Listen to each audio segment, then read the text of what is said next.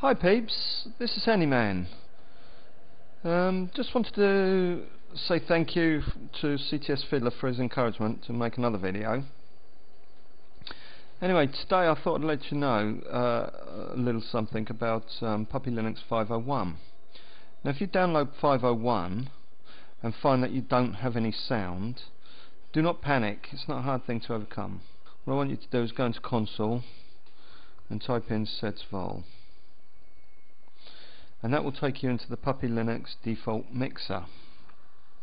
Now in there you've got various settings but one we're interested in at the moment is the volume control. So we're going to go type set vol one more time. Then we're going to have the master volume control which is 0 and we're going to set that at maximum 100 and hit enter.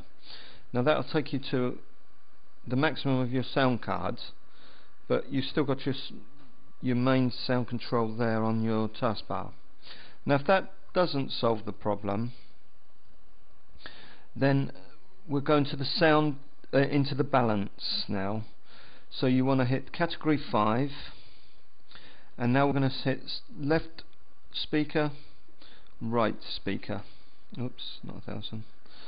And that my friends will sort your problem out um, just going to exit out of that.